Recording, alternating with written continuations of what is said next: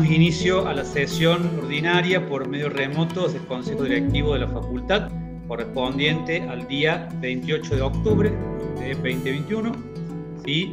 tal como hemos conversado en la reunión del Pleno de Comisiones del Consejo previo a, eh, a esta sesión. Hay una serie de asuntos que por Secretaría de Coordinación General solicitamos su incorporación fuera de orden, ¿sí? Yo voy a comenzar mencionando aquellos asuntos para los cuales hay acuerdos de incorporación y voy a dejar para el final eh, el asunto en el que ya hemos conversado que eh, pasaría a ser sometido a votación. Recordar que la incorpora, por reglamento interno la votación eh, para la incorporación de un tema fuera de orden requiere el voto positivo, el acompañamiento de dos tercios de los consejeros presentes en la sesión. Así que ese es bueno, el procedimiento inicial. Entonces, comienzo por los tres asuntos en los que contamos con el acuerdo. En principio, lo haremos, por supuesto, se manifestarán por el chat. Pedimos autorización para incorporar los asuntos fuera de orden, al orden del día, los asuntos 27, 28 y 29, que comento muy brevemente.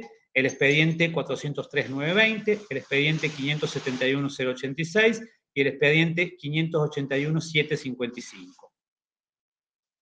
Si hay acuerdo del Consejo, y les pedimos que eh, empiecen a manifestarse a través del chat o si alguien tiene alguna necesidad de usar el micrófono, no hay problema, pero los incorporamos y contamos con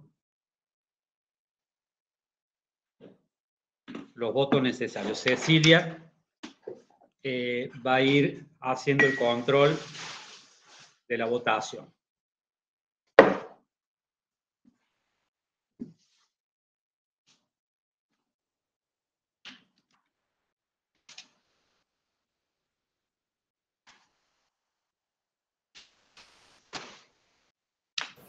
Perdón, Leandro, pusiste entonces a consideración la incorporación de los temas 27, 28 y 29 fuera del orden. 27, exactamente, es correcto. Tenemos, ahí tenemos la cantidad, tenemos la cantidad de votos necesarios, esos temas se aprueba su incorporación. Bien, se incorporan entonces los asuntos mencionados. El asunto número 26, el que vamos a someter a votación, eh, es eh, el proyecto presentado por los consejeros estudiantiles de Estudiantes al Frente, que eleva el proyecto de promoción directa. Es un proyecto que, bueno, ha tenido un, largo proceso de, eh, de trabajo, y, pero no hay, como dije, un acuerdo completo para su inclusión en este orden. ¿sí?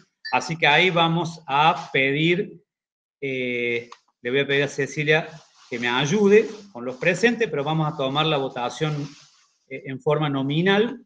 ¿sí? Pido disculpa si algún consejero o consejera eh, no me demoro en mencionarlo porque voy a estar viendo entre los consejeros y consejeras nuevos que están presentes, calidad de invitado y los nuevos. Tengo el listado. Ah, bien, bien, bien. Gustavo, no sé si querés hacer una intervención antes del inicio de la votación. Sí, muy breve para fundamentar. Y la aclaración de si es en comisión o en sesión, para ver si tengo la grabación o no. Eh, bien. Este proyecto eh, fue discutido por este cuerpo durante bastante tiempo, eh, de manera no, no, literalmente sostenida, es decir, no continua a lo largo de todos y cada uno de los lunes eh, en los que nos reunimos desde hace varios meses largos, digamos. por lo tanto, fue eh, reintroducido para su discusión por parte de este cuerpo el lunes pasado por parte de la banca estudiantil de Estudiantes al Frente. Eh, nosotros entendemos, y esto lo expresamos en la, reunión de comisión, que eh, esa discontinuidad en el tratamiento tuvo que ver con que el proyecto no necesariamente recoge un consenso suficiente, particularmente al interior del claustro docente, que amerite este, su eh, revisión y tratamiento en, tras dos reuniones de comisión este, por parte de este cuerpo saliente. Y aquí el, argumento final tiene que ver con ello, con que en virtud de estos avatares que acabo de, eh, señalar, eh, a nosotros nos parece prudente que este, la composición del cuerpo resulta del resultado de las elecciones pasadas este, tenga la oportunidad de reexaminar el proyecto presentado por los consejeros estudiantiles de estudiantes al frente. Por lo tanto, eh, nosotros eh, vamos a votar de manera negativa la incorporación de este asunto al orden del día de la sesión del día de hoy. Bien, gracias Gustavo. Pide la palabra la consejera estudiantil Gabriel Santillán y luego el consejero docente Javier Moyano. Seguimos ese orden de la palabra. Solamente recordarles que al inicio digan si es en comisión o en sesión para mantener o frenar la grabación según corresponde. Bueno, mi intervención es en sesión y bueno, es obviamente sobre, sobre este eh, tema, digamos, de, bueno, si se incorpora o no, si se, si se cierra o no esta etapa.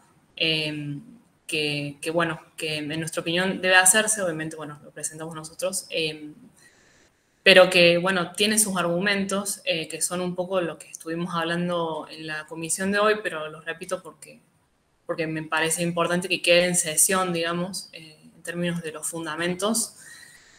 Y, bueno, por un lado, el, el proceso que ha sido la elaboración de este proyecto, creo que ha sido eh, un proceso ejemplar en términos de el debate que se, que se generó en distintos espacios.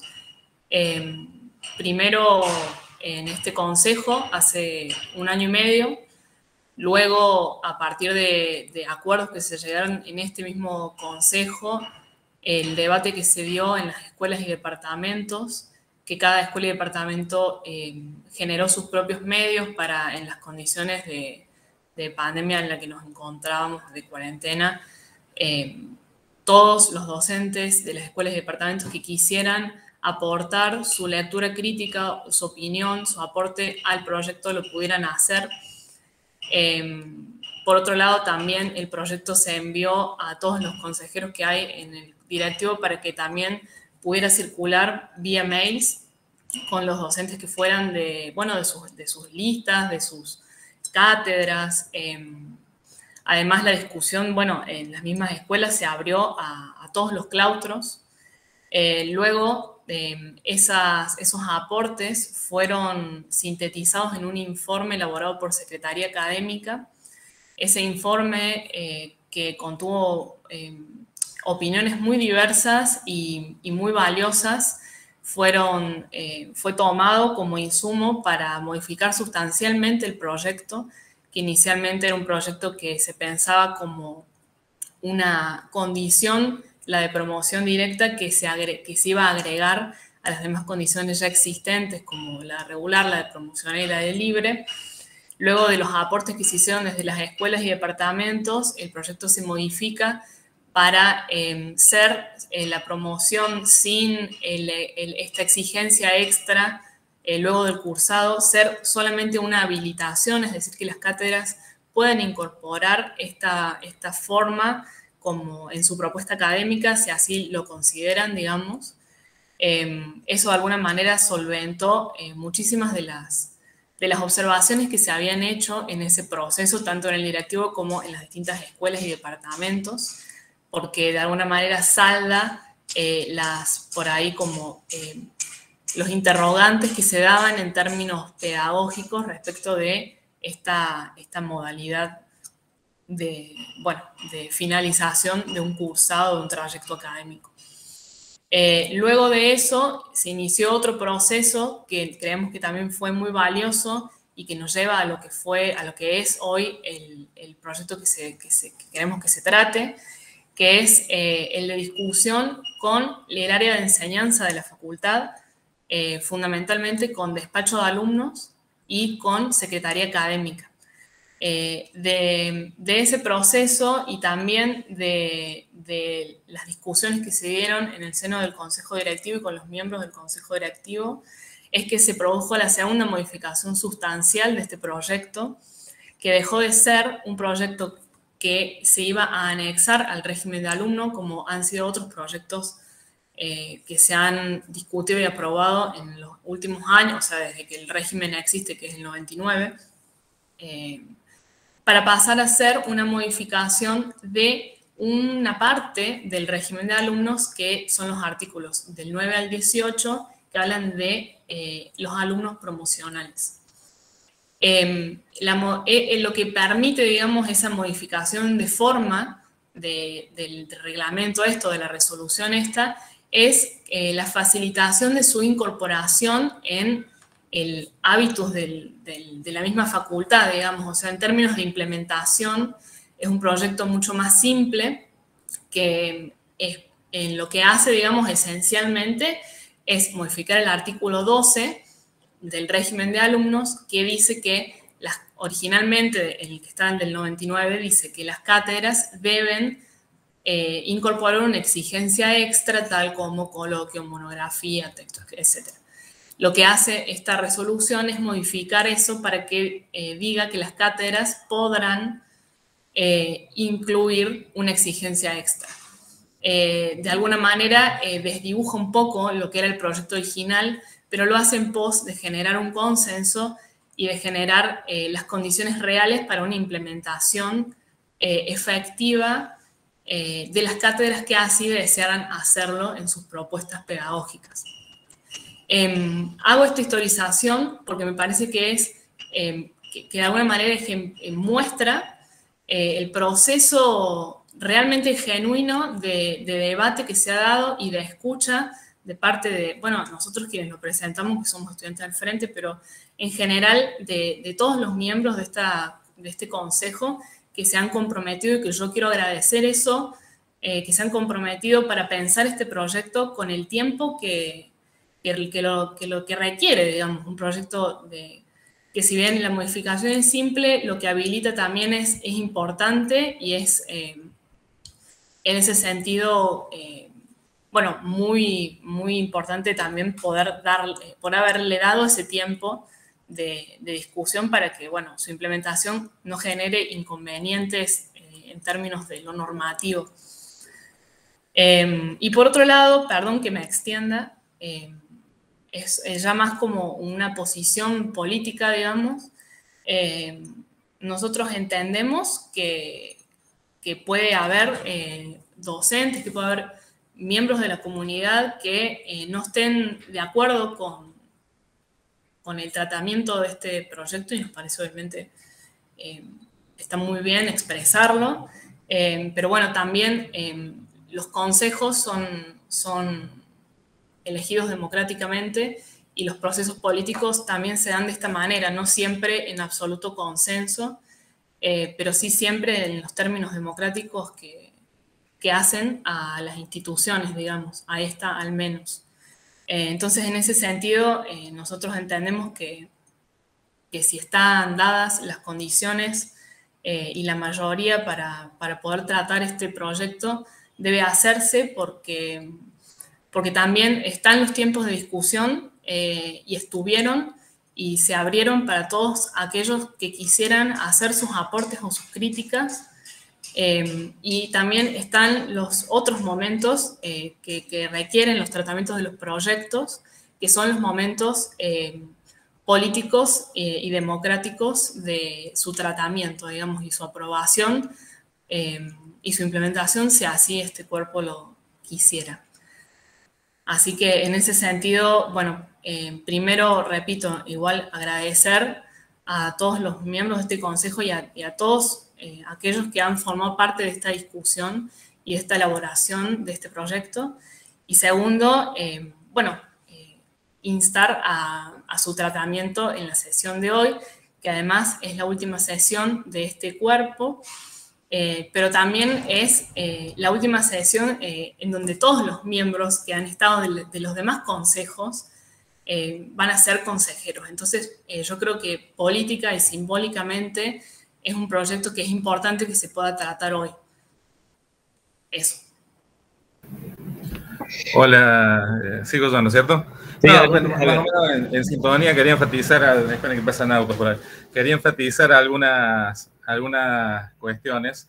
Eh, la primera es que, que, nosotros, nuestras funciones representativas son plenas desde el primer día hasta el último de la duración de nuestro mandato. E, eso me parece que es un punto eh, que, es importante. Hace, hace un par de días el Congreso Nacional votó la ley de etiquetado frontal eh, en perspectiva de que la composición de la Cámara cambie, o sea, en función del resultado del espacio, digamos, ni siquiera la oposición, que, más, que los pocos votos en contra y abstenciones que hubo en ese voto fueron todos de, la principal oposición, no, no objetaron ese atributo de, de, ese cuerpo representativo para votar esa ley. O sea, en ese sentido, hay un reconocimiento de que tenemos eh, funciones representativas plenas desde el primer día hasta el último. Segundo, em, tenemos responsabilidad representativa también de tratar los proyectos que se han presentado con suficiente antelación, y este es un caso, y que se han debatido, que se han... Eh, eh, em, consultado con suficiente antelación durante la duración de nuestros mandatos. Eh, se puede votar por la positiva o por la negativa, pero creo que nuestra responsabilidad política y nuestro respeto a los consejeros que presentaron el proyecto obliga a que lo tratemos, ya sea por la positiva o por la negativa, porque el proyecto se presentó ya hace muchos meses, se consultó eh, mucho con, con con las escuelas eh, y digamos, bueno, llegamos a la última sesión sin haberlo tratado, creo que es una deuda que, que hace nuestra responsabilidad y a nuestro respeto por, la, por los consejeros que presentaron el proyecto, tratarlo, aunque sea, aunque sea para rechazarlo, pero sí, sí tratarlo. Eh, el tercer punto es que em, todos em, enfatizamos la necesidad de los consensos cuando no hay pues, eh, hay que votar, pero en este caso, eh, al, haberse modificado la obligación de otorgar la, la, promoción directa por, la, eh, por el atributo, por la facultad de otorgar la, promoción directa, el problema de los consensos se torna más, menos, menos, menos problemático porque no, se está obligando a, nadie a otorgar la, promoción directa, se está facultando a los docentes a otorgar la, promoción directa y la, y, la, falta de, consenso, que no necesariamente mayoritario, pero, pero que no, no, porque no lo hemos medido, no lo hemos medido, eh, apuntado fundamentalmente a la obligación y no a la facultad de otorgar la promoción directa, por lo tanto no estamos violentando la, voluntad de nuestros representados, ni mucho menos al, al otorgar la facultad de otorgar promoción directa. Y el último punto que quería marcar es que esta, en, el caso de que esta normativa sea aprobada, eh, no es una normativa que requiera dos tercios de los votos para ser derogada. Eh, por lo tanto, eh, aunque la semana que viene cambie la composición del Consejo, cualquier consejero podría mocionar su derogación y se, y se deroga con la misma cantidad de votos con lo que se la aprueba. Digamos, o sea, no, estamos condicionando al próximo Consejo eh, si aprobamos una normativa eh, en, la, última sesión. Eh, en el sentido que podría considerarse una práctica desleal para un Consejo que, que ya, que, que, ya ha estado aprobado. O sea, no le estamos poniendo, poniendo un corset de una normativa que una eventual nueva mayoría no podría volver a reconsiderar. O sea, que en ese sentido no estamos condicionando en absoluto a la, próxima representación del Consejo. Era eso nomás lo que quería marcar. Ya expuestas las, las posiciones por los consejeras intervinientes, tanto en sesión como en comisión. Vamos a pasar a la votación. Le vamos a pedir a Cecilia Richeri que vaya eh, ayudándome en, en ir mencionando consejeros y consejeras, tanto eh, usando el micrófono o por el chat, como les quede más, más cómodo y cómoda a cada uno de ustedes, eh, vamos tomando la votación. ¿sí? Les recuerdo que entonces estamos sometiendo a votación la incorporación fuera de orden al temario de eh, la sesión ya iniciada del asunto 26, que es el expediente, por, por suerte ayer los compañeros no docentes nos mandan la numeración y demás, expediente 2020 267 850 iniciado por consejeros, consejeras estudiantiles de Estudiantes al Frente sobre proyecto de promoción directa. Votamos entonces su incorporación o no al orden del día. Por la positiva obviamente es por la incorporación, por la negativa es por rechazar su incorporación y que permanezca en tratamiento en el cuerpo. Ceci, ¿querés ir mencionando los consejeros y consejeras? Leo primero los consejeros docentes presentes. Vos, Leandro, hace la diferenciación entre titulares, adjuntos y asistentes, que yo me pierdo siempre. Ah, no, pero al fin de la votación eh, alcanza con, el caos, en general no hace falta los estamentos. Perfecto. Javier Moyano. Por la positiva. Juan Manuel Barri. Sí, por lo positivo también. Melissa Payaro. Positivo. Silvio Matoni. Positivo. Paola Seminara. Positivo. Diego Omar. Por la negativa. María del Carmen Ladrón de Guevara. Estaba, creo. Por la positiva. Gustavo Santillán, te adelanto. Negativo. Eduardo Sota. Por la positiva. Perfecto. De estudiantes, eh, tengo a Abril Santillán. Por la positiva. Perdón, Cecilia, eh, eh, sobre un voto de los nuestros. Ahí votaron Silvio, sí, Mari Carmen y... preguntar los titulares suplentes, sí. pero pensé que me responden. O sea, de, de, esos tres son dos votos. Díganme de quién. ¿A quién? Sí, yo no, Silvio. Creo que Silvio. No, yo soy el titular. Sí. María del Carmen es suplente. Bien, perfecto. Entonces esto lo, lo, anulamos. Aclaramos entonces hasta ahora son de los, claro, de los consejeros docentes se han manifestado seis por la positiva ¿sí? y dos por la negativa. Esa es la cuenta correcta. Sí. Seguimos así. Abril Santillán, por la positiva, dijiste sí. Francisca Matoni. No son titular y suplente ustedes, ¿no? No. Bien. Positivo. Egresades, eh, Julieta Almada. Está sesionando Belén Caminos. Ah, bien, Belén, perdón. Por la positiva. Camila Mendoza está, creo, ¿no? Sí, acá estoy, por la positiva. Bien. Y en el caso bueno, mío, yo, positivo. yo obviamente pido el voto de ese, es decir, Richeri, consejera no docente. Positivo. Sí. Si no me equivoco, me ayuda Cecilia, Tenemos- son 6, 8, 10, 11 votos por la positiva y 2 por la negativa. Exactamente. ¿Verdad? Sí. Bueno, eh, se incorpora entonces a, eh, al temario incluido. Bien, empezamos entonces con el tratamiento de los asuntos eh, incorporados y autorizados luego para la incorporación eh, fuera de orden, autorizados recientemente para la incorporación fuera de orden. El as- asunto es entrado por la Comisión de Vigilancia y Reglamento, el número uno es el expediente 45241, Escuela de Archivología Veniciadora, que lleva actuaciones de la selección antecedentes para cubrir un cargo de profesor asistente de educación simple interino, interina de la Cátedra de Paleografía Diplomática Hispanoamericana, con dictamen de la Dirección de Asuntos. Solamente agrego para recordar, porque la- el enunciado eh, eh, mantiene el, origen de este expediente, que aquí se está votando, eh, según la recomendación de la Dirección de Asuntos Jurídicos, solicitar a la comisión interviniente una ampliación de dictamen respecto a los puntos, bueno, algunos de los puntos incluidos en ese, en ese dictamen. ¿sí? Así que, a, vota- a consideración, perdón, el asunto número uno.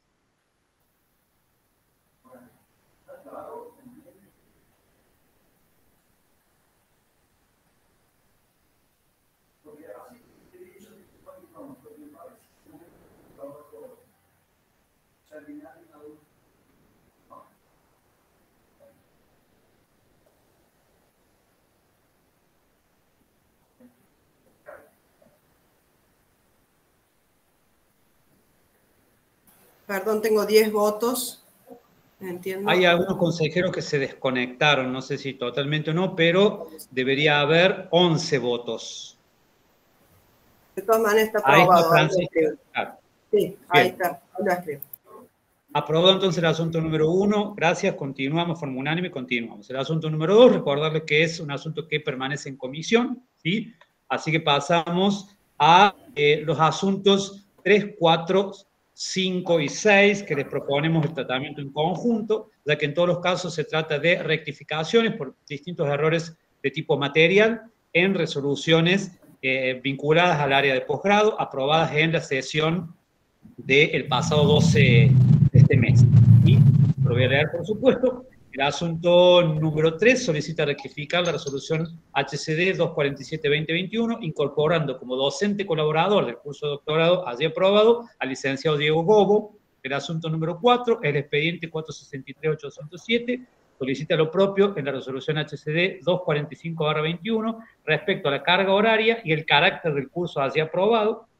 El asunto número 5 es rectificar la resolución HCD 266-2021 para que donde dice comité académico diga comité asesor. Y el asunto número 6, el expediente 430-799, Secretaría de Posgrado también, rectificar la resolución HCD 246-2021 respecto al carácter del curso, que no es doctorado, sino curso de posgrado. A consideración entonces los asuntos 3, 4, 5 y 6.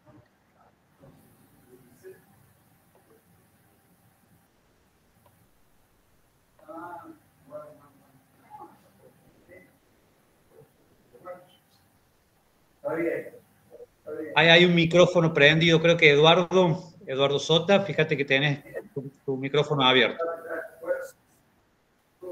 Entonces yo puedo desde aquí.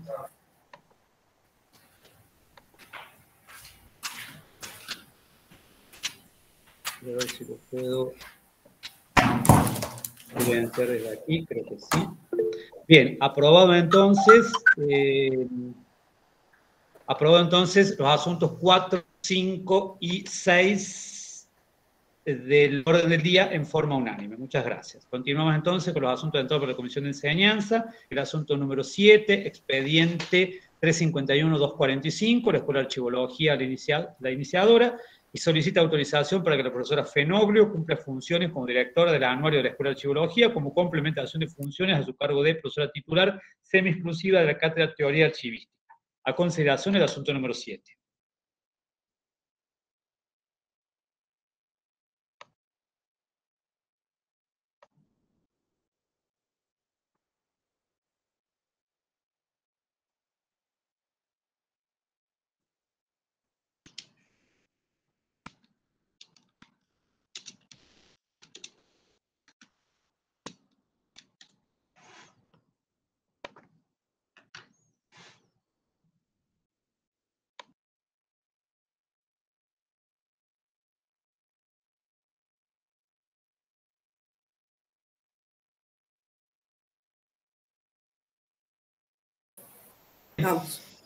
Aprobado, gracias, en forma unánime, el asunto número 7. Continuamos entonces.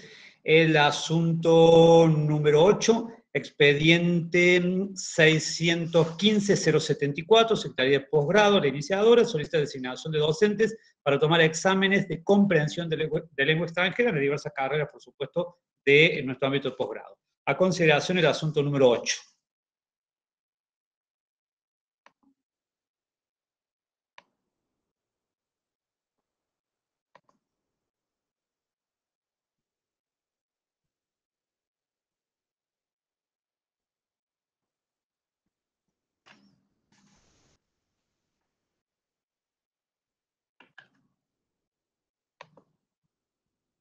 Bien, aprobado en forma unánime, muchas gracias. Continuamos entonces con el asunto número 9, expediente 583-518 de la Escuela de Bibliotecología, eleva programa del espacio curricular, materiales especiales. A consideración el asunto número 9.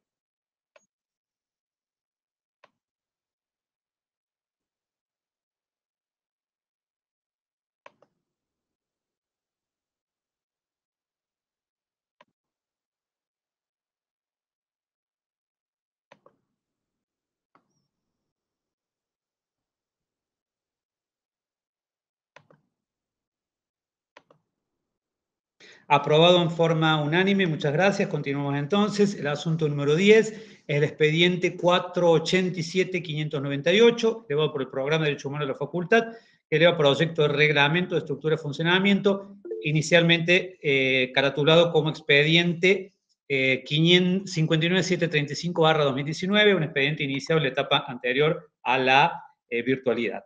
Eh, antes de pasar a votación, ponemos, eh, damos la palabra a las consejeras, eh, a la consejera docente Melissa Payaro y la consejera estudiantil Abril Santillán. Creo que la consejera Cecilia Richelli también pide la palabra. Eh, las damos la palabra, sabemos que es en comisión, así que en sesión, perdón, así que mantenemos la grabación y las escuchamos en el orden en que está el pedido de palabras. Bueno, gracias. En sesión, en realidad yo iba a hacer como un resumen, quizás, bueno, después se extienden a Abril y Ceci. Este, sobre este proyecto de reglamento del programa de derechos humanos, en este consejo acordado en, comisión. eh, darle tratamiento y aprobar el proyecto que ha sido presentado, pero con la incorporación de algunas cuestiones más, más de tipo aclaratorias.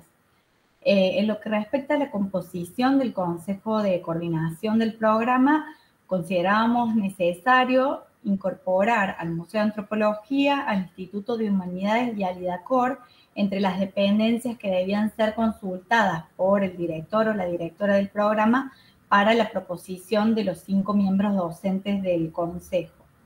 Por otro lado, sugeríamos hacer un pequeño cambio en la redacción, en donde decía estará conformado también por un miembro egresado, tres estudiantes y un no docente que deberán ser participantes del programa, que diga estará conformado también por un miembro egresado, tres estudiantes que deberán ser participantes del programa y un eh, no docente. Eso lo va a explicar seguramente Ceci, eh, pero nos parecía importante hacer esa, esa aclaratoria en tanto, digamos, los no docentes puedan ser también este, considerados más allá de, quienes participen del programa.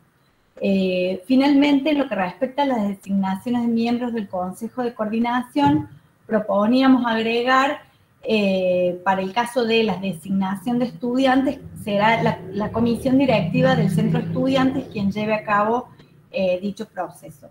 Esos eran los tres aportes que habíamos coordinado eh, en comisión este, para aprobar este, este proyecto del programa de derechos humanos. O Abril, supongo.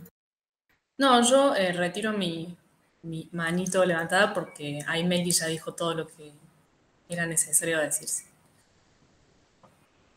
Bien, siempre solo para aclarar, efectivamente Melia ahí tomó la, solicitud de corrección que habíamos hecho. En primer lugar, celebrar que se esté aprobando este, esta modificación de reglamento que desde fines de 2019 eh, está en, en, comisión y se ha trabajado también bastante y con consultas a los distintos claustros. Eh, y en el caso de no docentes, nosotros solicitamos esta modificación, al menos eh, temporalmente, porque los miembros del programa se establecen más arriba en el reglamento, son todos aquellos que formen parte de proyectos de investigación, de extensión o de distinto carácter en las cátedras sobre derechos humanos y la, digamos, la, inclusión de compañeros no docentes en ese tipo de actividades, de proyectos, eh, es breve, es, es digamos, de poco tiempo. Entonces, como la modalidad que nosotros utilizamos para elegir a nuestros representantes tiene que ver con nombres propuestos de asamblea y una votación interna del claustro para no acotar la posibilidad de participación y de aprendizaje de los compañeros no docentes. Entonces solicitamos que no necesariamente en esos casos tengan que ser miembros de, del programa, que puedan participar en función de los intereses y la necesidad de aprendizaje sobre estos temas. Gracias, Cecilia. Tiene la palabra Flavia, ah, pidiéndole que aclare si es en comisión o en sesión, como siempre. En sesión, en sesión. Solamente es para manifestar eh, nuevamente la importancia que tiene el programa de derechos humanos para nuestra facultad, que ya tiene, es un programa que está cumpliendo dentro de poco una década. Este, y decir que lo que nos resulta fundamental, y a mí me parece eh, muy importante que se haya producido esta modificación en los términos en los cuales han señalado las compañías recientemente y que además se incluya a los efectos también de ampliar la consulta docente a los institutos de investigación, además de que se contemple la presencia de los claustros bajo sus formas de representación, es esta idea de que amén de que para nosotros derechos humanos es un contenido transversal para la enseñanza de grado y entiendo que eso debería ampliarse en varios sentidos. Será una tarea por venir. Este, es un aspecto estructural de, vamos a decir, el organigrama político institucional de la facultad. Entonces, que eso se vaya reflejando en los reglamentos, este, me parece un asunto eh, clave. Así que simplemente agradecer este, el trabajo de quienes han eh, hecho posible esta modificación del reglamento preexistente en el que ni lo tempore yo trabajé como consejera cuando fue la consejera del directivo. Gracias. Bien, con las aclaraciones realizadas que agradecemos, eh, si no hay otra intervención, me parece que no, podemos poner eh, a votación, someter a votación el asunto número 11, entonces, perdón, el número 10, que es eh, estas reformas al reglamento de la estructura y funcionamiento del programa de derechos humanos con las incorporaciones y agregados que se manifestaron verbalmente en sesión. A consideración entonces, el asunto número 10.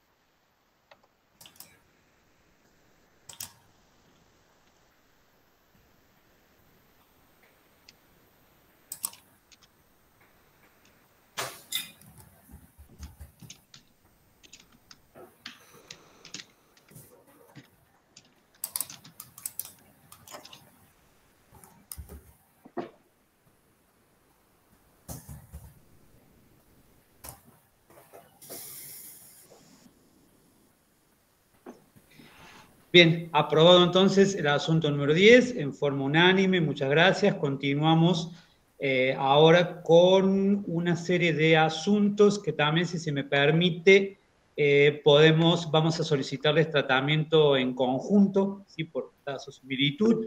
Son los asuntos... Ah, Flavia, perdón, antes de dar continuidad a la sesión, la intervención, es para estos tres puntos, Leandro, cuando ustedes consideren. Ah, bueno. Eh, yo entonces eh, hago el enunciado y le damos la palabra inmediatamente después a, la decana. los asuntos número 11, 12, 13 y 14, ¿sí? Se trata de los expedientes 483, 734, 483, 831, 550-284 y 528-884, los cuatro iniciados por Secretaría de Posgrado. En el primer caso es eh, eleva versiones actualizadas del plan de estudio reglamento de la carrera de especialización en asesoramiento y gestión pedagógica. El siguiente es versiones actualizadas del plan de estudio y reglamento de la maestría en pedagogía. El 13 es el plan de estudio reglamento de doctorado en semiótica de la Facultad de Filosofía y la Facultad de Ciencias sociales, ahí, creo que un error de tipeo es la Facultad de Ciencias Sociales, la, la, que cogestiona con nosotros ese, ese doctorado. Y por último, el, eh, perdón, perdón, esos tres asuntos son los que voy a pedir en, tratamiento en conjunto. Los asuntos 11, 12 y 13, en todos los casos se trata de adecuaciones en función del el proceso en curso de acreditación de la carrera de posgrado vigente por parte de CONEO. Entonces, Reitero, los asuntos 11, 12 y 13 son los que pedimos tratamiento en conjunto. El 14 tiene otra entidad y va a ser sometido a votación de manera eh, eh, separada. Damos entonces la palabra a la decana. Bien, eh, lo que yo quería simplemente es manifestar también el agradecimiento, porque esto que se ve aquí en, en dos líneas ha sido un trabajo muy fuerte que ha llevado adelante la gente, los, las autoridades e integrantes de estas carreras de posgrado de nuestra facultad junto con la Secretaría para poder este, otorgar estas versiones actualizadas este, de plan de estudio y de reglamentos, que han supuesto también este, la generación de consensos y que lo han hecho en, un tiempo este, bastante apretado, dadas las circunstancias del momento. ¿no? Entonces yo sobre todo quiero aquí destacar el trabajo de autoridades y miembros de estas carreras y la Secretaría de Posgrado junto con ellos para esto que se ve así en dos líneas en cada caso, pero que ha sido un trabajo enorme con excelentes consensos que se pudieron llevar adelante. Gracias. Sí, así tal cual. Bueno, entonces ponemos a consideración del Consejo Directivo los asuntos 11, 12 y 13 recién consignados. A consideración.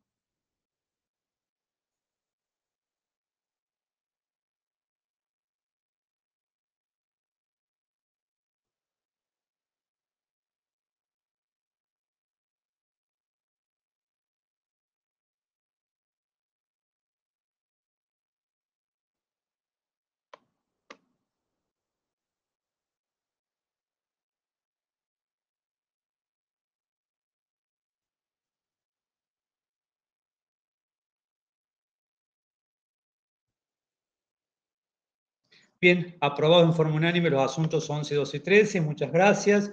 Continuamos entonces con el asunto número 14, 528-884, número de expediente, inició en conjunto por la Secretaría de Investigación, Ciencia y Técnica y la Secretaría de Posgrado de la Facultad, y elevan el proyecto de estancias y programas postdoctorales en Ciencias Humanas y Sociales de nuestra facultad. en ese asunto, bueno, conversó en, en el trabajo previo de comisiones, damos la palabra al consejero docente Gustavo Santilla. Sabemos que en sesión, así que mantenemos la grabación. Sí, bueno, eh, este proyecto también es el fruto de, por supuesto, de la, iniciativa de la Secretaría de Posgrado y de eh, Ciencia y Técnica. Eh, fue este, sometido a consideración de las comisiones de este consejo. Este, hubo varias instancias de discusión e intercambio de opiniones. De, algunos de estos intercambios fueron, redundaron en la introducción de modificaciones al texto que, presentan las, las secretarías. Eh, nos parece como apreciación general este, una iniciativa eh, saludable y positiva para el mejoramiento de la oferta académica de, la facultad. En ese sentido es un, es un avance y un, progreso muy, muy considerable. Este, y sí, lo único que cabría em, solicitar a la Secretaría de Coordinación luego de la aprobación general del proyecto, si es que los consejeros y consejeras están de acuerdo, eh, es un tramo en particular del inciso 2.2, eh, inciso A, eh, referido a estancias postdoctorales, porque, bueno, en las últimas dos reuniones de comisión este, advertimos que en ese inciso el proyecto establece una distinción en el tratamiento de los postulantes extranjeros provenientes, en un caso, de países del Mercosur y en otro de eh, países eh, extra-Mercosur, acotando el eh, tiempo máximo de estancia de estos últimos, es decir, de estudiantes extranjeros de países ajenos al Mercosur. Cuando me preguntamos en comisión a los secretarios, eh, cuáles eran las razones de este tratamiento diferencial. Bueno, se, nos explicó que este, ahí hubo una atención razonable a los trámites que debían cumplimentar los estudiantes extranjeros provenientes de países ajenos al, Mercosur y que de alguna manera podían llegar a este, dificultar una estancia este, mayor a, tres meses, que es la estipulación máxima que se incluye en el proyecto. Eh, sin embargo, la redacción del proyecto tal como está eh, a, la, fecha no refleja que esa discriminación de tiempo máximo de estancia se deba a eso y eh, no estipula con claridad a quienes eh, aplica la posibilidad de pedir una extensión de la estancia postdoctoral. Lo que nos explicó el secretario de posgrado concretamente es que esa posibilidad de pedir una extensión de los tiempos de estancia máxima aplicaría a los estudiantes eh, extranjeros de países ajenos al Mercosur en virtud de las dificultades administrativas extrauniversitarias que estos estudiantes podrían llegar a, afrontar o a enfrentar.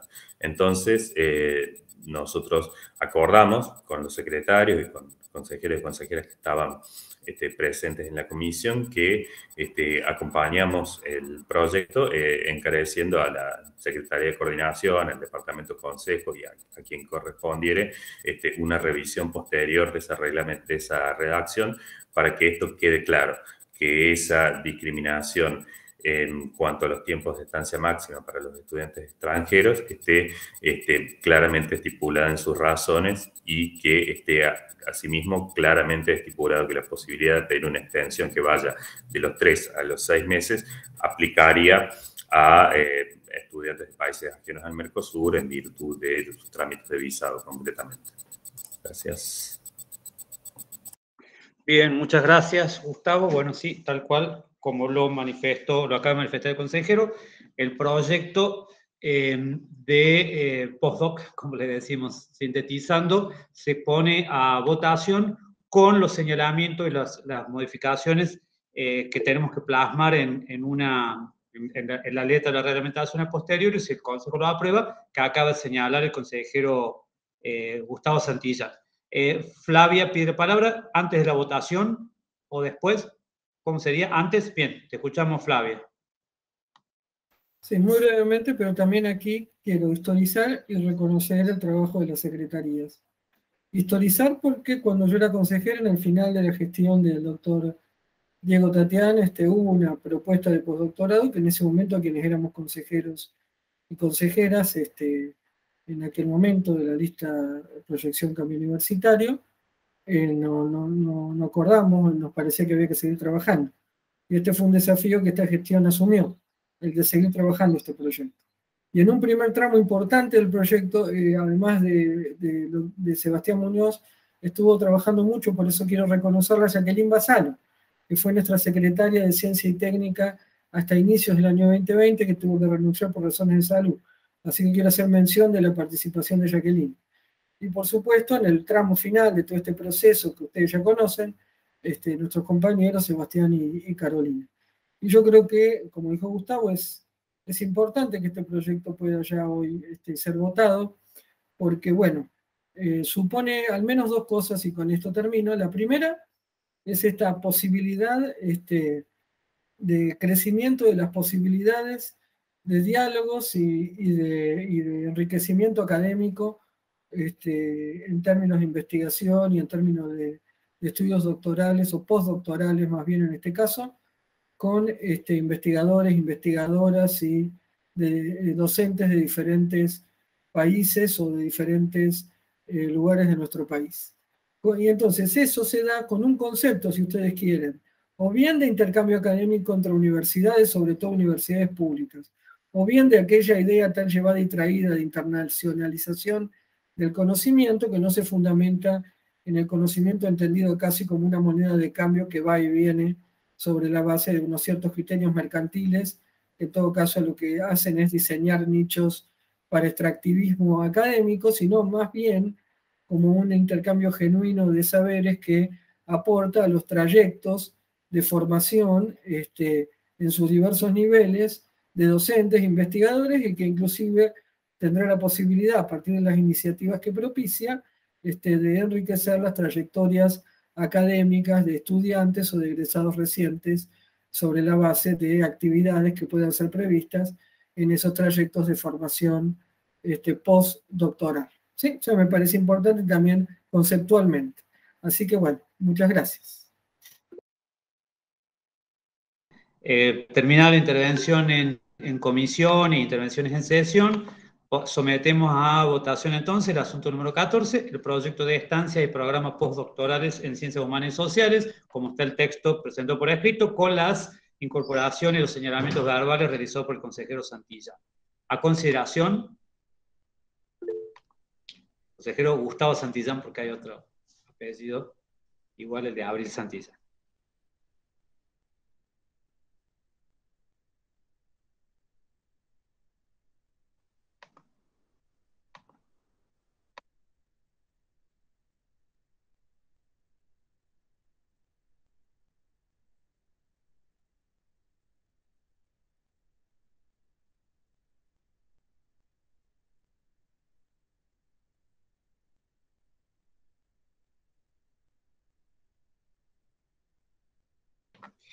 Bien, aprobado entonces en forma unánime el asunto número 14, muchas gracias.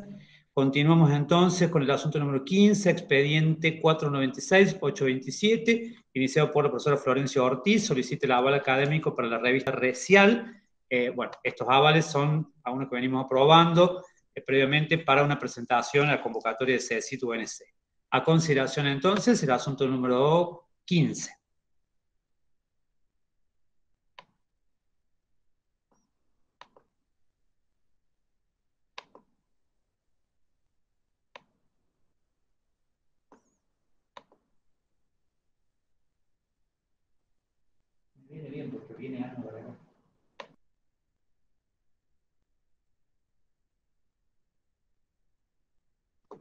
Bien, aprobado en forma unánime, muchas gracias. Continuamos entonces con el asunto número 16, 602-409, número de expediente, fue la de la iniciadora, eleva llamado selección antecedente de dos cargos de profesor, profesora asistente de educación simple en Historia de América 2. A consideración el asunto número 16.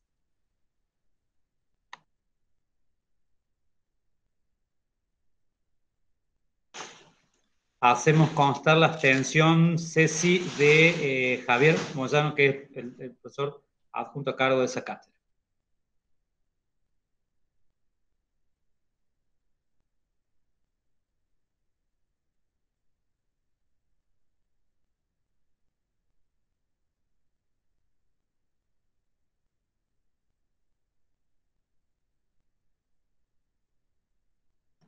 Bien, aprobado en forma unánime con la abstención del consejero Javier Moyano entonces. Gracias. Pasamos entonces al bloque de resoluciones de canales a referéndum del HCD, desde el asunto 17 hasta el asunto 23 inclusivo, inclusive, perdón. Eh, solamente si hay algún pedido de abstención por alguno de los consejeros y consejeras presentes, si hay algún tema que eh, lo, los involucra haciendo necesario pedir la abstención, eh, si no, hay dudas, señalamientos en contrarios, hacemos constar que eh, se refrendan los asuntos 17 a 23, todas resoluciones de canales que por diversas razones en el periodo entre sesiones se toman bajo esta figura que el Consejo ratifica en este acto. Bien, se refrendan entonces. Hay una pequeña, eh, bueno, mejor dicho, la incorporación de los asuntos eh, aprobados fuera de orden. Recordamos que son cuatro asuntos, 26, 27, 28, 29. Y luego cerraremos con los para conocimiento. El asunto número 20. Ah, bien, ahí hay una abstención de la consejera Belén Caminos. Gracias, Belén, consejera por egresados. Les decía entonces, el asunto, el primero de fuera de orden a tratar es el asunto número 26, el expediente 2020-267-850, consejero de, estudiantiles de la bancada de estudiantes del Frente, proyecto de promoción directa. Eh, no sé si va a haber pedidos de palabra, espero unos segundos. Bien, escuchamos a la consejera Abril Santillán. Recordar a Abril si es en comisión o en sesión para la grabación. Es en sesión. No quiero repetir lo que ya dije hace un rato porque, bueno, pero sí eh, me parecía que también era pertinente poder dedicarle unas palabras antes de que se apruebe a, bueno, a, este, a todo este proceso. Así que, bueno, paso a leer porque lo escribí. Nuestra propuesta de pensar una modalidad de promoción distinta de la ya conocida y reglamentada en la FFIH encuentra su primer, un primer cauce a principios del año 2020 en el espacio del Consejo Directivo, con una motivación fuertemente ligada a las problemáticas desatadas por la situación de emergencia sanitaria, tanto en nuestra provincia como en el resto del mundo. Pero además entendemos que recogió una necesidad que trascendía dicha coyuntura, que era la de poder darle un marco normativo a una práctica que sería beneficiosa tanto para favorecer la factibilidad y razonabilidad de los trayectos de los estudiantes, y las y les estudiantes, como también para la labor docente al ampliar las posibilidades para elaborar sus propuestas pedagógicas. Creemos que esto no es menor y que fue una señal para poder avanzar en la discusión de su formalización, a sabiendas de que existe un piso amplio de aceptación y de voluntad de normativización que es transversal en todos los claustros. Con esto en vistas, en los meses que pasaron hemos trabajado en la reformulación de nuestra propuesta para adecuarla y transformarla en una modificación del apartado alumnos promocionales del régimen de alumnos vigente. Hemos seguido de cerca otras experiencias positivas en nuestra universidad, sin perder de vista las singularidades que caracterizan a nuestra facultad. Hemos llevado a cabo un trabajo colectivo interclaustro y de consulta a consejeros de todos los claustros, despachos de alumnos, secretaría académica, escuelas y departamentos de la facultad para la asesoría en la producción de la presente resolución. De este modo, llegamos al proyecto que aquí presentamos, que bueno, un poco ya me explayé eh, hace un rato sobre en qué consiste y la forma que tiene. Queremos saludar la voluntad y compromiso de la facultad en todas sus áreas en general y de los miembros del Honorable Consejo Directivo en particular para abordar de manera integral y con un genuino compromiso e interés la necesidad de pensar un marco normativo para esta práctica que no encontró más que experiencias positivas para todos los miembros de la comunidad involucrados. Por último, señalar nuestra disposición para con los directores directoras de escuelas y departamentos, consejeros y área de enseñanza en pos de construir las mejores condiciones posibles para su correcta implementación a partir del año que viene. Nada más. Bien, muchas gracias. Abril, eh, escuchamos al consejero Gustavo Santillán. Recordad, Gustavo, si mantenemos la grabación, si es en sesión. Imagino que sí. Bien. Sí, en sesión, gracias.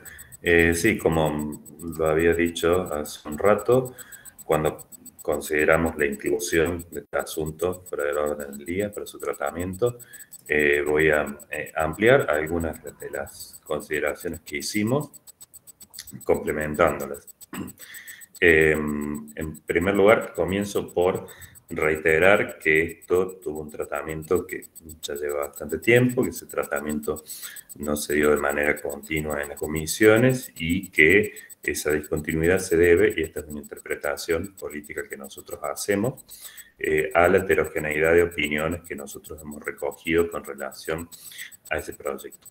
Em, sería un poco eh, engorroso transmitir toda la serie de este, observaciones y argumentos que hemos recibido y el relevo de aquellas opiniones que no han sido formalmente expresadas a lo largo de estos este, largos meses, valga la, redundancia, por las distintas instancias de nuestra vida eh, académica.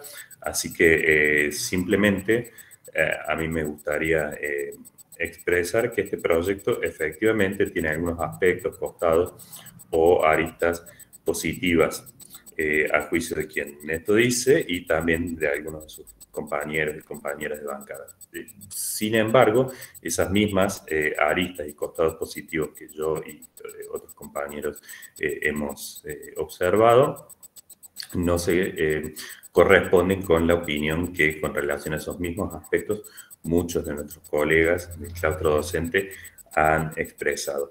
Es en virtud de ello que este, nosotros consideramos que este proyecto debe ser reexaminado por la nueva composición del cuerpo que resulta de las elecciones que este, se han realizado hace escasos días en esta eh, facultad y que por lo tanto expresan la composición actual más actualizada del, espectro de este, opiniones que hoy nosotros tenemos en el seno de la Facultad de Filosofía y Humanidades. Por lo tanto, en virtud de todo lo que acabo de señalar, nosotros eh, nos vamos a abstener eh, cuando se someta a votación este proyecto. Gracias. Gracias, Gustavo. Bueno, Flavia ha pedido la palabra. También recordamos si mantenemos la grabación si es en sesión. Sí, gracias, en sesión, Leandro. Bueno, quisiera decir una palabra sobre este proyecto. Nosotros con Juan Pablo, cuando iniciamos esta, esta gestión que, va, a estar finalizando el 30 de noviembre, eh, no incluimos al, al, régimen de promoción directa en nuestra propuesta en ese momento. Sobre la base de los relevamientos, discusiones que habíamos tenido, no, no lo hicimos.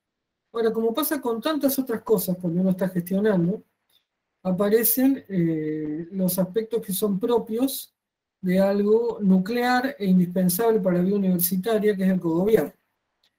En el marco del cogobierno, entonces, aparecen iniciativas, así como de docentes, no docentes, egresados, egresadas, estudiantes, de diferentes claustros, que ingresan a la consideración de todos quienes lo constituyen. Y que para quienes estamos en gestión, supone la necesidad de tratar de brindarle, en este caso al organismo de cogobierno, que es el máximo organismo de gobierno de la facultad, este, tratar de darle los insumos necesarios para poder este, discutir con, de la mejor manera posible.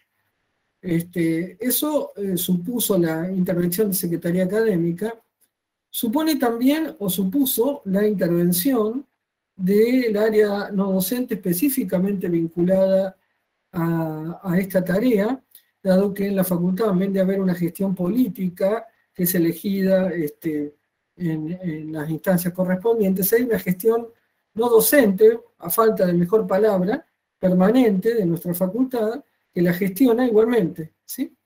Eh, de manera tal que también esa palabra y ese trabajo estuvo presente aquí. Y por otro lado, este, por supuesto, también estuvo, a pedido de, ustedes, la consulta con las escuelas y departamentos que adoptaron diversas modalidades de consulta Era una consulta que siempre se pretendió como el cogobierno universitario interclaustro. Luego las modalidades que cada escuela se haya dado, bueno, eso está fuera de nuestras manos. Este, pero esa consulta fue sistematizada por Secretaría Académica y ustedes tuvieron la posibilidad de trabajar.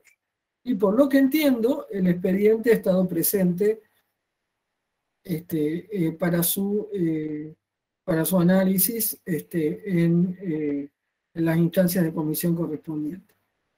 y los estudiantes y las estudiantes, así como algunos, algunos consejeros que, que se interesaron por el asunto de manera específica, sin duda han seguido trabajando y puliendo el proyecto para que cumpliera ese triple objetivo de este, facilitar en el sentido no de degradar, sino de, este, brindar mayor cantidad de oportunidades, de opciones de promoción este, de la materia, de acreditación de las materias para los y las estudiantes, brindar a los y las docentes también mayor cantidad de posibilidades de prever las formas de evaluación y acreditación que hacen presentes en sus propuestas pedagógicas, pudiendo o no adoptar este régimen. Reitero esta idea, pudiendo o no adoptar este régimen. Entonces, eh, sobre esa base, el tercer punto fuerte que me parece que es importante aquí es que si bien es una cuestión que empezamos a discutir en contexto de pandemia, como toda discusión lo que puso sobre la mesa es un marco de comprensión más amplio, que no supone solamente la dimensión instrumental de usar algo porque ahora podría venir bien, sino de generar un ámbito de oportunidades y de posibilidades cuyo horizonte final es sin duda eh, el ideal de la inclusión estudiantil en un marco de respeto de los derechos laborales de docentes y no docentes. ¿sí? Y finalmente, que me parece que esto contribuye a un trabajo que la gestión que venga y el Consejo Directivo de manera crucial, porque es competencia del Consejo Directivo, deberá llevar adelante, nosotros cumpliremos los roles que nos toca cumplir, que es la revisión completa y la conformación de un nuevo régimen de estudiantes, lo cual nos permitirá en este y otros puntos este, mejorar eh, aún más y corregir en lo que hiciere falta aquellas este, sucesivas normativas que hemos ido produciendo a lo largo del tiempo en lo que hace al régimen de cursada y acreditación estudiantil este, presente al momento. Bueno, eso quería decir y agradecerles la atención.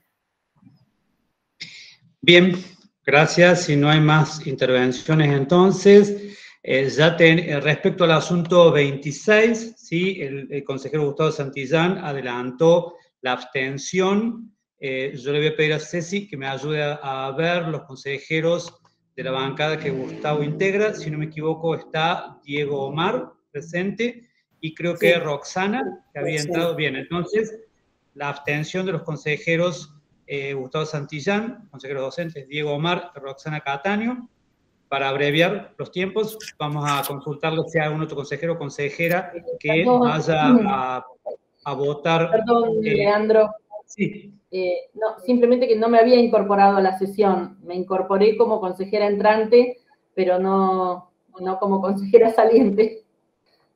Bien, bueno, entonces las abstenciones de eh, Gustavo, gracias a la aclaración Roxana, Gustavo y de Diego, y sea algún otro consejero o consejera que vaya a solicitar abstención o tenga un voto diferente, ¿sí? si no, ya por supuesto, sin pedirle a Gustavo y Diego que se manifiesten, porque ya lo han hecho, eh, solicitamos entonces eh, la manifestación de los demás consejeros y consejeras presentes en relación al asunto 26. Se pone a consideración. De todas maneras, si pueden escribirlo en el chat o quieren, Gustavo y Diego, para que, quede, para que me quede el registro para ir sumando, mejor, pero como ustedes prefieren. Bien.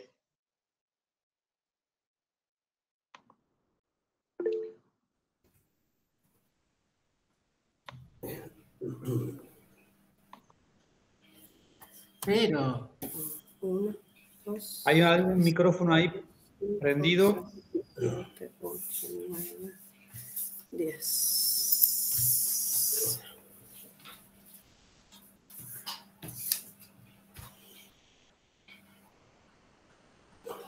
problema, Diego.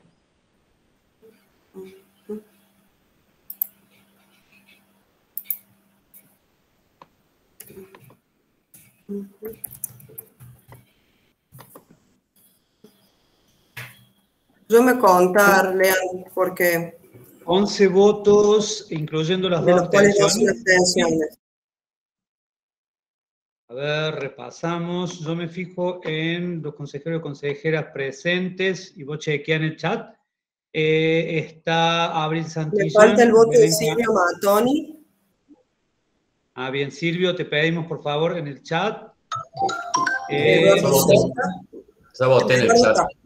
Aprobado. Está, está al principio, fíjate, está en el Ah, perdón, perdón. Listo, entonces Gracias, estamos. Silvio. Ahí, lo, estamos, ahí Ahí estamos, entonces, el Eduardo Sota, ¿falta o está? Está. ¿Ya nos da la- el número?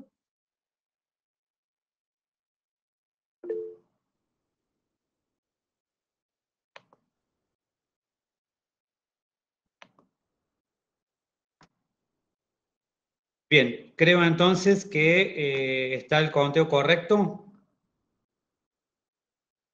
Esperamos que Ceci lo ponga en el chat. Bien, aprobado entonces en forma unánime con las abstenciones ya adelantadas de los dos consejeros eh, docentes que lo manifestan. Pasamos entonces a consideración, eh, ponemos a consideración, perdón, el asunto 27, pero fuera de orden, expediente 403-920, García, Angelina García, la iniciadora, que solicita licencia sin goce de haberes. Hubo un error en, el- en la versión inicial del orden, le pedimos disculpas. Es una licencia sin goce desde el 3 del 8 del 2021 hasta el 2 del 8 del 2022. A consideración el asunto número 27.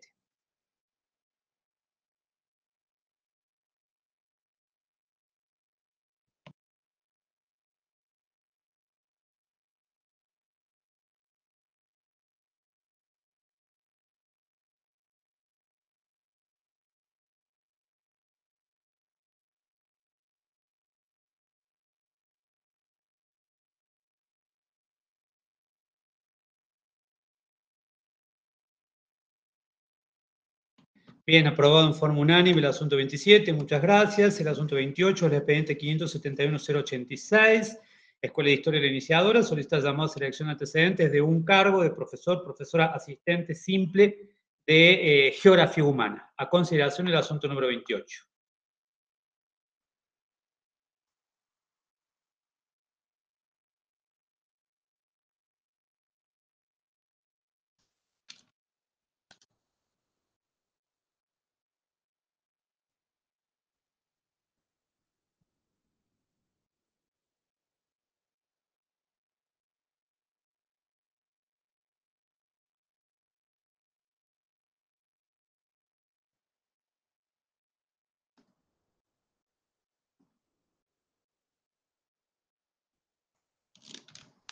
Bien, aprobado el asunto 28 en forma unánime, muchas gracias. El asunto número 29 es el expediente 581-755, Ciencia y Educación, la iniciadora, eleva programas y seminarios, de programas, perdón, de seminarios y talleres electivos del segundo cuatrimestre actualmente en curso y solicita reconocimiento de funciones docentes. A consideración entonces el asunto número 29.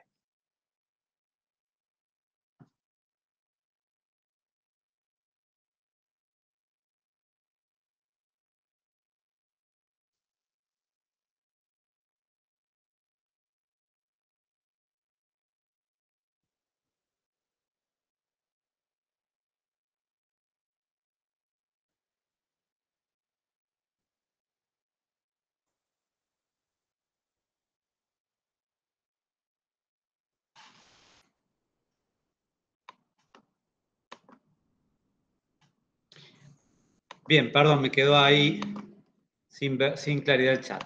Bueno, están concluidos los asuntos incluidos eh, para consideración en el orden del día. Las dos eh, cuestiones que quedan eh, son para conocimiento. En primer lugar, a la que me voy a referir más brevemente, eh, se trata de una nota iniciada por Secretaría Académica con el, el proceso de, de acuerdo por parte de los coordinadores y coordinadoras de los cursos de inmigración de la facultad eh, en relación a eh, cuál es el estado de situación del debate y, eh, en el interior de las, de las cátedras y, y además en virtud del contexto, obviamente, el contexto sanitario y normativo, respecto a la posibilidad del dictado con carácter presencial de los cursos de nivelación. Es una, una situación que, como consejeros y consejeras que estuvieron trabajando previamente en comisión saben, está todavía en proceso de, de discusión y, y, atada, por supuesto, sujeta a definiciones de, contextuales que escapan a la capacidad de decisión, por así decirlo, de nuestra facultad.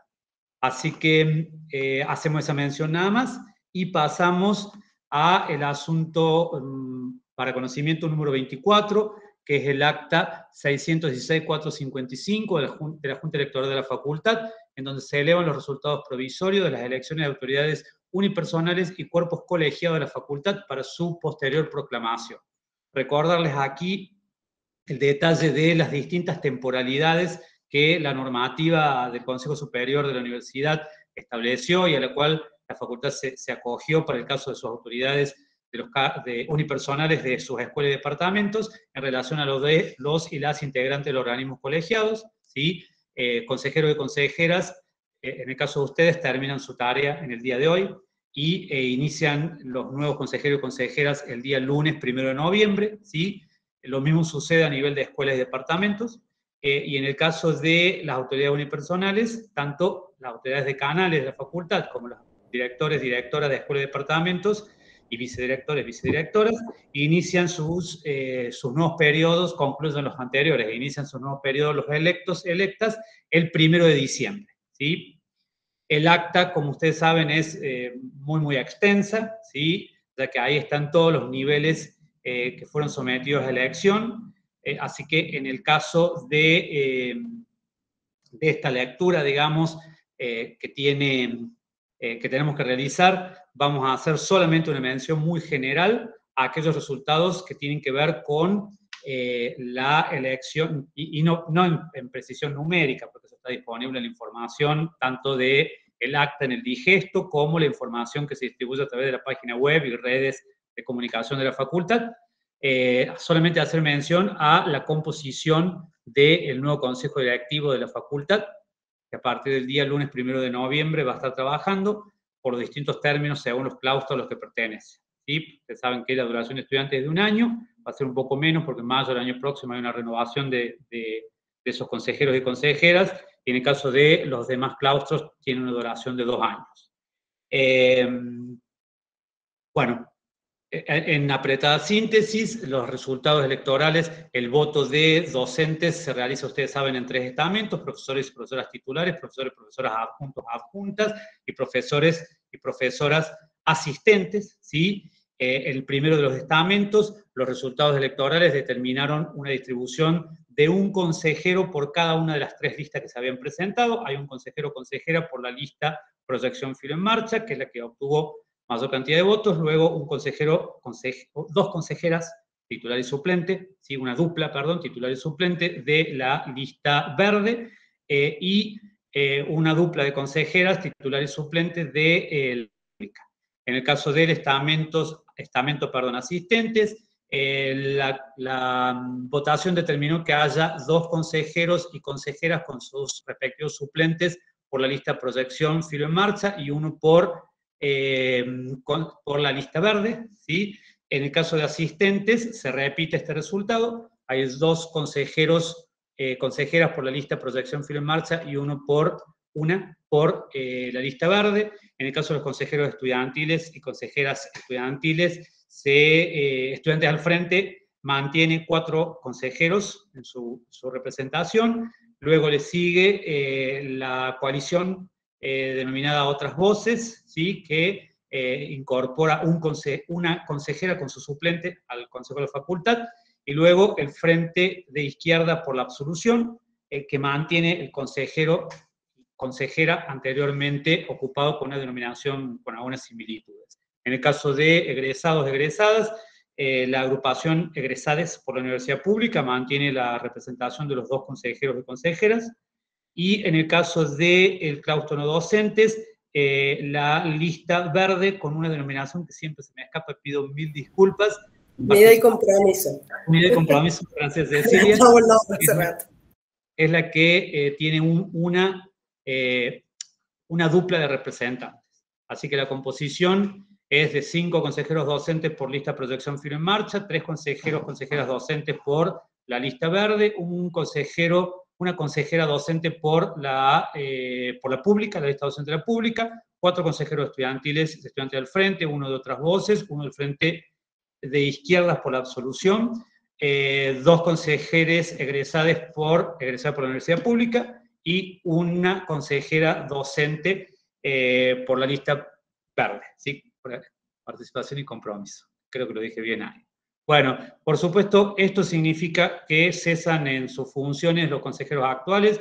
Yo me he referido varias veces en, en, instancias públicas y en el trabajo, no cara a cara, sino compu a compu, centralmente, que realmente la tarea que ustedes han llevado adelante en esta, en esta pandemia y la virtualidad obligada a la que nos sometió ha sido realmente eh, impresionante y el compromiso con, lo que, con la que lo han asumido es digno de todo reconocimiento, más allá de las listas, de los claustros, ¿sí? con acuerdos como tuvimos hoy, con desacuerdos y votaciones como tuvimos hoy, así que lo único que hay que decir de esta secretaria, y creo que interpreto a eh, Pablo Gara y Cecilia Richelli, que integran el departamento eh, consejo de la facultad, es de absoluto reconocimiento. Nada más. Seguramente Flavia querrá decir algo. Los consejeros, consejeras electos, algunos están aquí presentes, vuelvo a felicitarlos, están eh, ya avisados del inicio del trabajo el lunes que viene, ¿sí? Y e iremos avanzando hacia otra etapa seguramente, eh, pero bueno, corresponden esta, sobre todo desde mi punto de vista, reconocer a quienes les tocó este momento. Nada más, gracias. Le doy la palabra a la decana. bueno, yo me quiero hacer eco de, de lo que ha dicho Leandro eh, sin duda nos ha tocado transitar eh, momentos inéditos para la vida de la facultad y de la universidad y de nuestro pueblo. Porque no solamente nos tocó caminar la pandemia, también el fallecimiento de Juan Pablo. A mí me tocó asumir el decanato cuando había sido elegida como vicedecana y a ustedes como miembros de este consejo directivo docentes, estudiantes, no docentes, egresados, egresadas, asumir el rol fundamental, que es el rol del cogobierno. A ver, este, quien ejerce la gestión de canal y el equipo de trabajo con el que estamos, eh, coordinando con el equipo de gestión no docente que este, llega a, sus cargos por concurso y es un equipo de gestión permanente.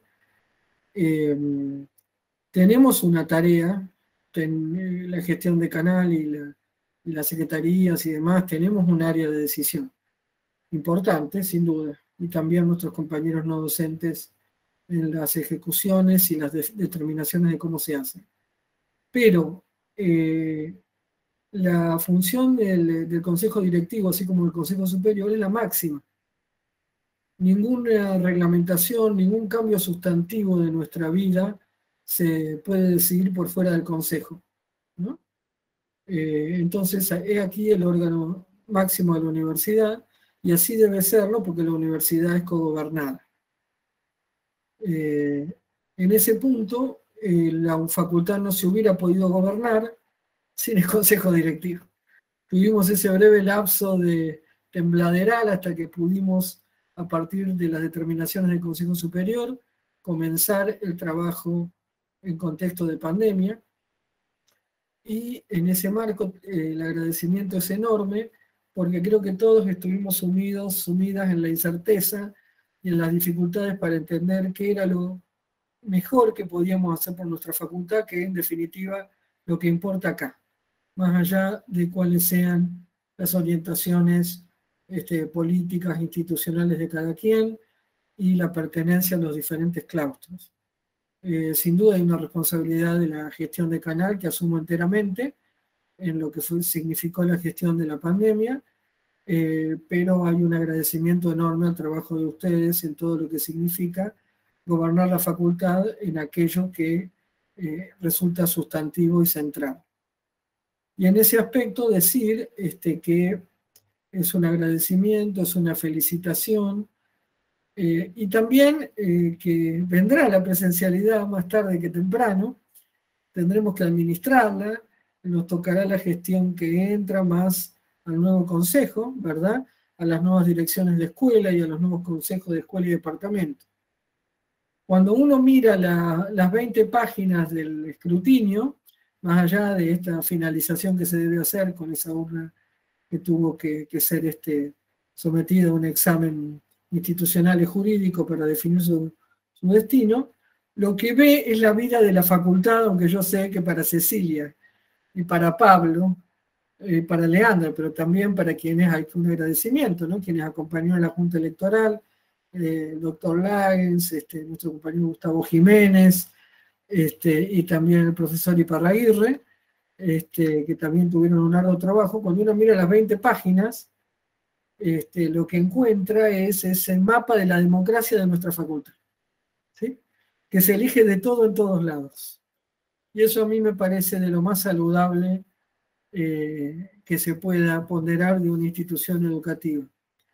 Nosotros, no se olviden, somos los pioneros en elección directas de autoridades unipersonales, en este caso de escuelas y departamentos. Pronto elegiremos a la autoridad y a, nuestros representantes en el CIFI. Y ya llegará la hora, tengo mucha fe que tengamos un reglamento en el CIFI que incluya estudiantes, becarios y no docentes.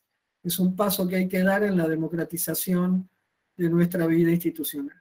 Así que un agradecimiento gigantesco a ustedes, consejeros y consejeras, de todos los claustros y de todas las listas. Un agradecimiento enorme a la gente de la Secretaría de Coordinación, este, porque lo que han hecho, yo se los digo, la cotidiana es Herculeo, en todo este proceso y en el proceso electoral en particular. Y como la presencialidad vendrá más tarde que temprano, también vendrán para estos queridos consejeros y consejeras salientes, los sanguchitos, los bocaditos, las empanaditas y esas cosas que, este, y alguna bebida, que también ayudan a la, a la, mutua amistad este, universitaria que tenemos siempre que sostener entre todos quienes formamos parte de esta comunidad política y educativa. Así que serán también convocados y convocadas eh, con ese objetivo, además del trabajo conjunto que como facultad tendremos que seguir realizando en los lugares en los que este, cada uno le toque, cada una en este momento. Bueno, muy, muy agradecida y vamos a invitarlos también al acto de entrega del ARICO 2020 en el que ustedes han votado este, así la situación, ¿verdad? Bueno, mil gracias.